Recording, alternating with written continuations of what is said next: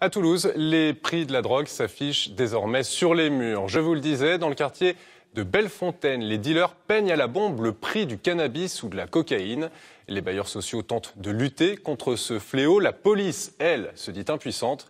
L'une de nos équipes a suivi ce matin les agents chargés d'effacer les traces de ce commerce illégal à ciel ouvert. Reportage.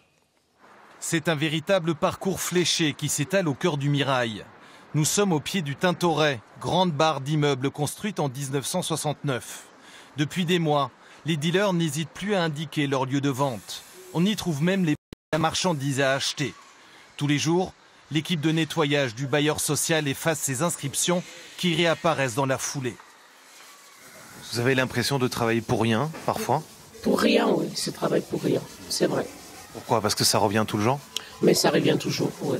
Ils ont toujours trouvé, euh, on nettoie aujourd'hui, le lendemain, peut-être ce soir même. Dans les coursives du Tintoret, il n'y a pas que les murs qui sont dégradés. L'éclairage des parties communes aussi est visé. C'est une lampe qu'on a remplacée la, semaine dernière et qui a été à nouveau euh, taguée pour qu'il y, ait, euh, y ait moins de luminosité et que euh, y ait, les, les, personnes sont, soient moins visibles dans cet espace-là. Un trafic de drogue qui gangrène ce quartier populaire. Les rares habitants qui acceptent de parler font part de leur ras-le-bol. Il faut arrêter et que ça arrête de, de faire ça. Parce que je, je vois souvent cacher la, la drogue partout.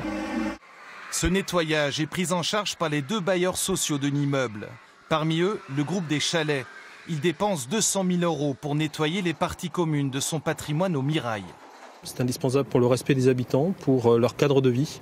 On, on se doit de ne pas abandonner, on ne peut pas partir. On ne peut pas laisser euh, et baisser les bras, donc on, on s'y tient et, et on ne lâchera pas. Face à ce fléau, les policiers se sentent impuissants et déplorent le sentiment d'impunité des trafiquants de drogue. Ils ne se cachent plus, donc euh, ils savent très bien qu'il ne reste pas grand-chose, que nous, on n'est pas forcément nombreux et euh, avec des moyens adaptés pour lutter contre cette délinquance-là. Et du coup, voilà, on a passé un grand dessus. Cette affaire rappelle celle vécue par les habitants de cet immeuble d'un autre quartier toulousain. En septembre dernier, ils ont tous reçu une lettre très inquiétante.